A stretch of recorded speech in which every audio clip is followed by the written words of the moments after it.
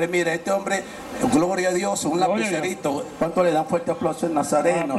Y azulito, gloria a Dios, está bien. Dios, bueno, es que, es que Dios es increíble.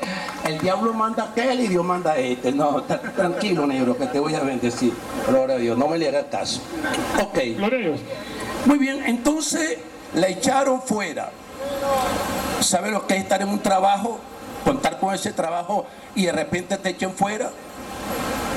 Estar en tu casa y de repente te echan fuera. Estar por ahí debajo de un puente a la orilla del río Guaire.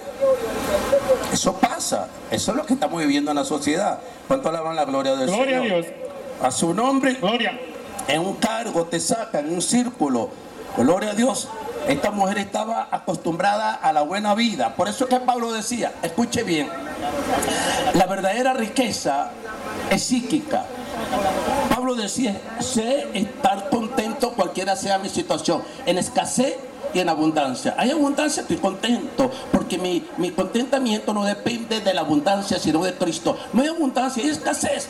Como mi circunstancia, mi vida, mi felicidad no depende de que tenga o no tenga, sino si tengo a Cristo. Entonces, si hay escasez o hay abundancia, se está contento cualquiera sea mi situación. Pero cuando usted se acostumbra a una sola cosa sin ver la otra, sin la antítesis, entonces cuando le falta esa cosa, entonces comienzan los problemas en su vida. Entonces se quiere matar, se quiere, se quiere ahorcar. Gloria a Dios.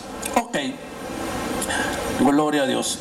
La echaron fuera de la sociedad como echaron fuera a Adán del huerto. Como echaron a los judíos de su tierra.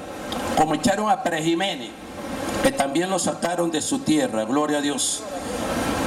Te sacan de sitio seguro. Como sacaron a los ángeles y a los serafines, los querubines del cielo.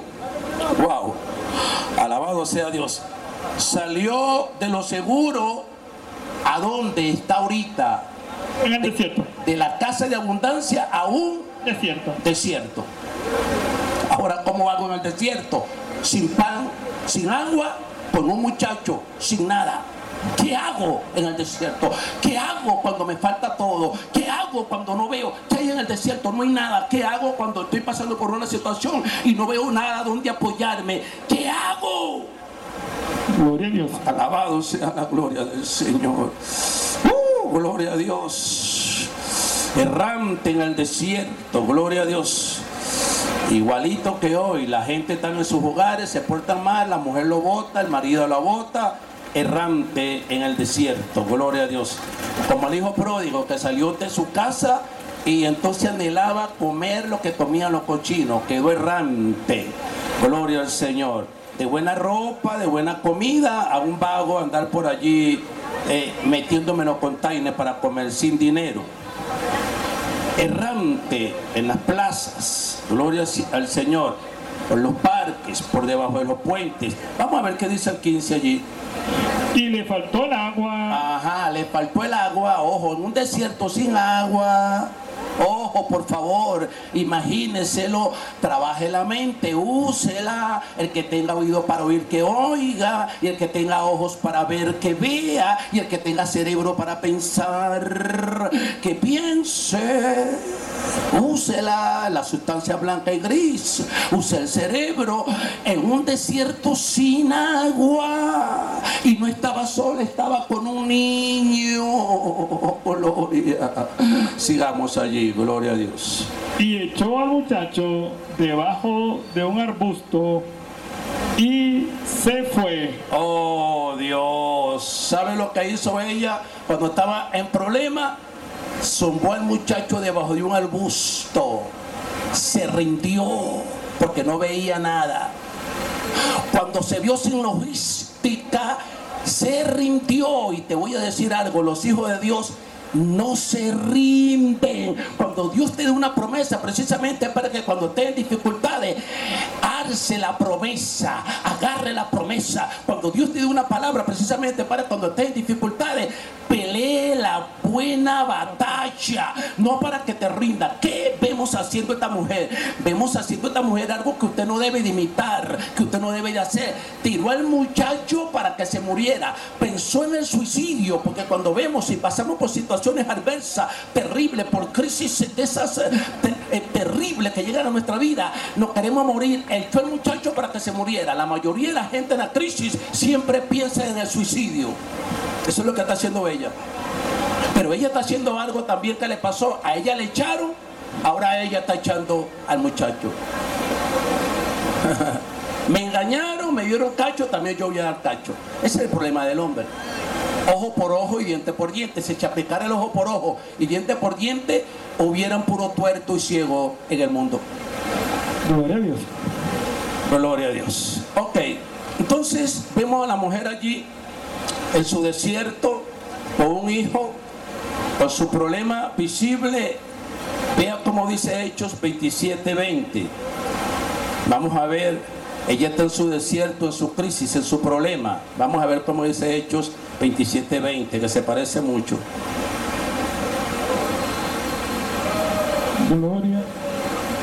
Hechos 27:20. por Y no apareciendo ni sol ni estrellas Está en un desierto, no hay nada, no aparece sol, no aparece estrella, no aparece nada donde agarrarnos. Hay situaciones que a veces nos llegan a nuestra vida, mi amigo, que no hay salida aparentemente. Virtualmente parece que todas las puertas se cierran. ¿Qué hacer en esos momentos terribles en nuestras vidas? Vamos a Doctor Ripley. Y no apareciendo ni sol ni estrellas por muchos días Por muchos días en un problema y usted no ve la salida por muchos días. ¿Qué hace? Así está esta mujer. En un desierto se le acabó el pan, se le acabó el agua y tiene un muchacho. No ve salida, no ve sol ni estrella, no ve ni siquiera un cucuy para guiarse en medio de, su oscuridad, de la oscuridad de su problema. Porque cuando hay oscuridad, usted lo que espera es una lucecita que lo guíe. La lucecita que te puede guiar en tu problema, en tu oscuridad, en tu crisis, es la lucecita de la palabra de Dios. Lámpara, esa es mi pisto, palabra rara. Eh, y lumbrera mi camino, doctor. y acosados por una tempestad no pequeña No veía solución y ahora está acosado por un problema bien grande, un Goliat, un Sandy. Sigamos. ya habíamos perdido Ay, mi madre. toda esperanza de salvarnos. ¿Cómo estaba esa mujer en el desierto? Sin, Esperanza. sin esperanza. Oye, no hay pan, no hay agua, me lo comí. Y tengo este muchacho, ¿qué hago? No, yo me voy a rendir. Lo tiró y se rindió. Oh, gloria. En el problema hay alguien que se aprovecha de tu problema. La Biblia dice, no ignoramos sus maquinaciones. ¿Sabe lo que hace el diablo en el problema que te manda a decir siempre? Marcos 5, 35 y 36. Vea lo que te manda decir siempre en el problema el diablo. No creas que él está allí. Río revuelto, ganancias. Gran poder de Jesucristo, ganancia de pecadores, pero sigamos. Wow. Doctor, 35.